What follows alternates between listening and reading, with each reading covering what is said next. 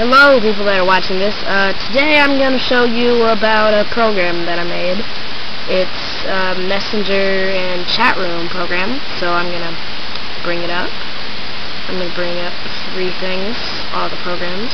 Uh, okay, so the messenger will go there, the chat room will go uh, there, and this will go down here. Okay, so let's get started. First, let's log in. And then I'm going to say, from this, I'm going to say, hello. and this automatically refreshes. And this is the admin control. So, um, C the command, C, hello. Uh, there is talk. Hi.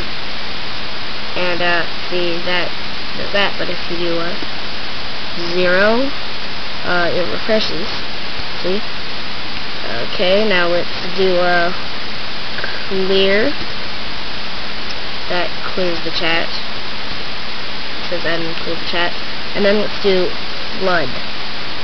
This one does that. It pretty much just uh, floods the chat room. And if you do...